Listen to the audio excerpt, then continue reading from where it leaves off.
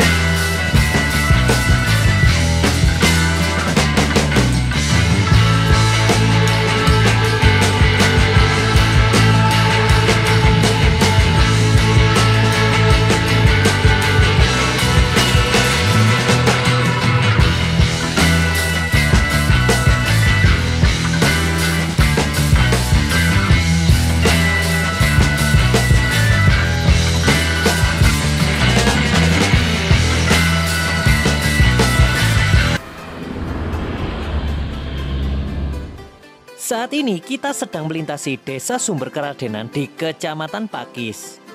Jalur pedesaan yang lumayan santai, sepi dan syahdu ini membuat kita semakin betah, yaitu betah berlama-lama di atas jalanan. Mantap. Di perjalanan pas ngelak lapo, mimik dulu. Seger. Suker. Mantap. Kita melanjutkan lagi perjalanan menuju ke Museum Panji, meluncur dengan santai penuh kebahagiaan.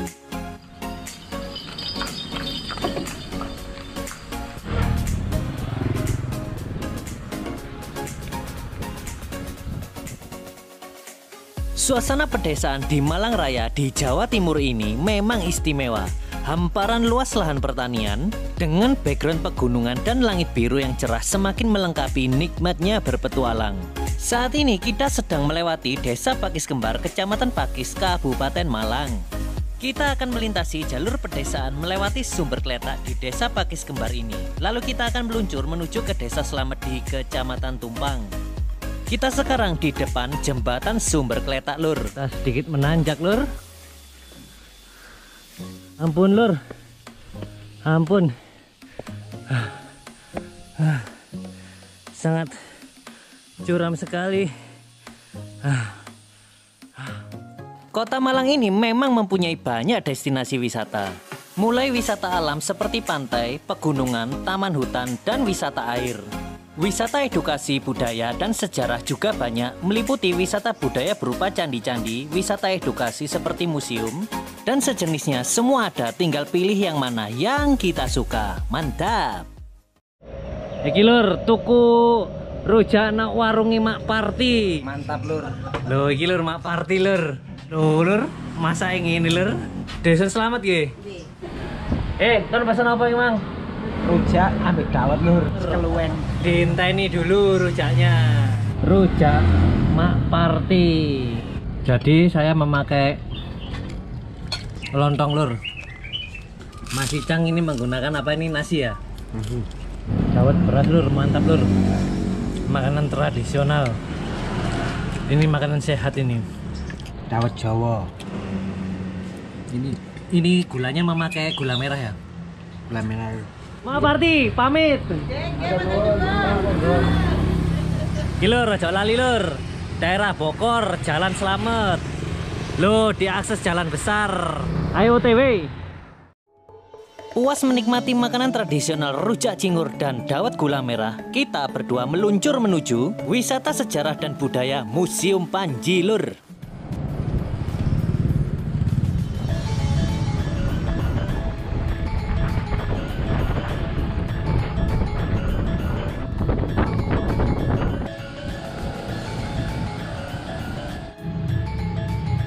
Masuk Museum Panji Lur.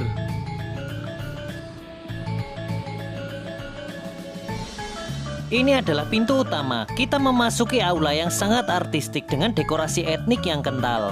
Dekorasi wayang kulit, topeng malangan, dan lukisan dinding yang bercerita pewayangan tempo dulu. Penempatan pewayangan berdasarkan pakem yang kuat atau aturan adat budaya Jawa yang sangat kental. Kita langsung disambut dua sosok sangar yaitu figur Panji Asmoro Bangun dan kekasihnya Dewi Sekartaji. Figur ini terlihat begitu agung lur, sekelas bangsawan di zaman kerajaan. Seperti ini ceritanya. Cerita Panji merupakan sekumpulan cerita yang berkisar pada atau memiliki keterkaitan dengan dua tokoh utamanya, yaitu Raden Panji Inu Kertopati dan Dewi Sekartaji. Raden Panji Inu Kertopati atau Kudawa Ningpati atau Asmoro Bangun, seorang pangeran dari Kerajaan Daha Kediri, dan Dewi Sekartaji atau Galuh Chandra Kirana, seorang putri dari Kerajaan Jenggala Sidoarjo. Keduanya saling mencintai dan bercita-cita ingin membangun kehidupan harmonis dalam sebuah rumah tangga. Namun, Raja Jenggala, ayahanda Dewi Sekartaji mempunyai keinginan untuk menikahkan Dewi Sekartaji dengan pria pilihannya. Ketika Dewi Sekartaji tahu akan dinikahkan dengan laki-laki pilihan ayahnya, Diam-diam Dewi Sekartaji meninggalkan kerajaan Jenggala tanpa sepengetahuan sang ayah dan seluruh orang di kerajaan. Jadi, Mbak Dewi yang cantik ini kabur lur. Malam hari sang putri berangkat bersama beberapa dayang menuju ke arah barat. Berita minggatnya, Dewi Sekartaji itu pun didengar oleh Raden Panji. Raden Panji pun bergegas mencari kekasihnya. Di tengah perjalanan dia singgah di rumah seorang kakek pendeta. Sang kakek pendeta pun menyarankan untuk pergi ke barat dengan menyamar sebagai seorang kera. Karena ketampanan yang hakiki bisa menghambat perjalanannya. Jika tidak menyamar maka akan banyak gadis di setiap perjalanan yang akan terpikat padanya. Sedangkan Dewi Sekartaji telah menyamar sebagai Endang Roro Tompe, berusaha naik gunung dan beristirahat di suatu daerah dan memutuskan menetap di sana. Ternyata tempat tersebut tidak jauh dari keberadaan Raden Panji. Keduanya sering bertemu dan menjadi akrab. Awalnya keduanya saling tidak mengetahui penyamaran masing-masing karena Raden Panji berwujud kera besar lur. Manusia kera sering menemui Endang Roro Tompe dan kedua pengawalnya. Manusia kera melompat-lompat ke sana kemari, berguling-guling menggambarkan persahabatan yang akrab. Setelah pertemuan itu, Endang Roro Tompe mengubah perwujudannya di depan kera sebagai Dewi Sekartaji yang begitu cantik jelita. Namun dia masih menangisi dan mencari Panji Asmoro Bangun. Sekeren itulah Raden Panji ini. Mantap sampai sang putri raja begitu merindukannya. Kera besar begitu kaget karena di hadapannya adalah Dewi Sekartaji. Manusia kera pun berubah menjadi Raden Panji Asmoro Bangun. Begitu kaget Dewi Sekartaji karena melihat perubahan kera menjadi pemuda yang tampan dan ternyata itu adalah Panji Asmoro Bangun. Di hadapannya, Dewi Sekartaji langsung memeluk dan menangis sejadi-jadinya. Akhirnya keduanya kembali ke kerajaan Jenggala untuk melangsungkan pernikahan. Sangat romantis kisah Panji ini lur. Keterikatan nama Museum Panji menunjukkan begitu istimewanya beliau. Jadi Museum Panji ingin memberikan sebuah wisata dengan daya tarik yang romantis untuk keluarga maupun untuk muda-mudi. Kisah Panji abad ke-11 sampai tahun 1222 ini juga menjadi inspirasi munculnya tarian tradisional yang dinamakan tari kete ogleng. Hadang pasukan hingga bakar bangunan Investor lalu lalang mencuri dan menambang Penguasa beri akses mereka bakar hutan Sudah digaji tinggi di rapat masih tidur Wow, salah lur. Ini lur yang dinamakan tari kete ogleng. Meluncur, bosku.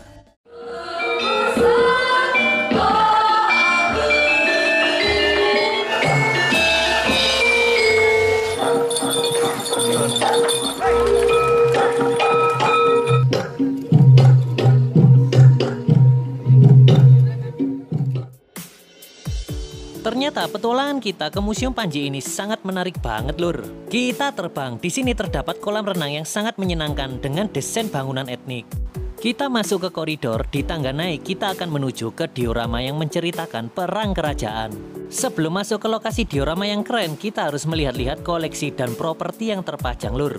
Di depan kita ini terpajang naskah lengkap tentang kisah dari Raden Panji Asmoro Bangun dan Putri Dewi Sekartaji. Karena ini kisah kuno, maka penokohan digambarkan dalam bentuk pewayangan yang sangat artistik dan unik. Terdapat banyak koleksi pewayangan. Jika kita ulas tentang semua tokoh wayang yang dihadirkan di sini, jelas waktunya tidak akan cukup bosku. Yang jelas di sini ada wayang kulit, wayang golek, dan properti dari wayang orang. Namun kadang orang hanya menerka-nerka tentang museum ini dan juga yang sering hanya tertuju pada kolam renangnya saja tanpa mau melihat isi dari edukasi yang ada di museum ini. Di sini juga terdapat naskah-naskah kuno yang juga kitab-kitab kuno. Ini sangat menarik karena mereka merujuk kepada kerajaan masa lampau yang ada di Indonesia.